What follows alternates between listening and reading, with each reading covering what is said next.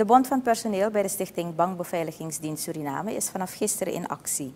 De stichting wil het personeel niet tegemoetkomen met de eisen van de bond voor 20% loonsverhoging en een lumpsum van 5000 SRD. Volgens bondsvoorzitter Otmar Braam wil de werkgever tegen afspraken in 15% loonsverhoging en een lumpsum van 3000 SRD geven. De bond en de stichting onderhandelen al vanaf januari en het ultimatum is reeds verstreken, meent Braam. En dat alles heeft ook geleid tot de situatie van nu. Nu wil men eigen voor hun geld. En ze zeggen duidelijk, ze willen geen genoegen noemen met minder dan wat is vastgesteld door de ALV. We gaan door tot het bittere eind. Wat, is, wat zijn jullie volgende stappen? Wel, laat me dit ook even zeggen. Eerste dag van de actie, dat was gisteren, zijn we opgeroepen geworden door de werkgever. Hij heeft ons benaderd met het verzoek, heren, schorten jullie de actie op en nemen jullie wat op tafel is.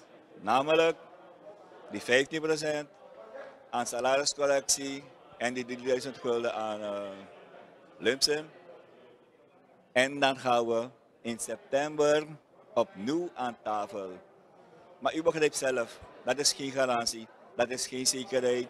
Daarmee kan je niet terugkomen naar de leden.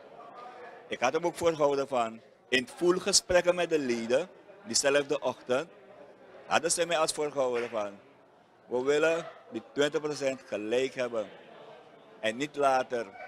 Nochtans heb ik aan de werkgever voorgesteld van als je me de garantie kan geven dat je het nu niet kan, maar wel een ander tijdstip in het jaar, dan zal ik het risico nemen om het toch proberen te verkopen aan de leden.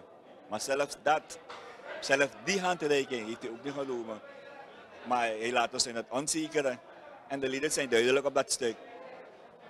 Ze willen die minimale eis hebben van 20% en 5000 gulden zijn.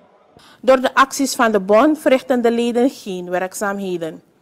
Onze nieuwsdienst verneemt dat de banken worden beveiligd door externe beveiligingsbedrijven. De bond van personeel bij de stichting Bankbeveiligingsdienst Suriname valt onder de paraplu van de bankiersvereniging. De bond heeft niets vernomen van de vereniging en zegt door te gaan met de acties totdat ze een akkoord bereiken. Het lukte ook onze nieuwsdienst niet een reactie te krijgen van de bankiersvereniging.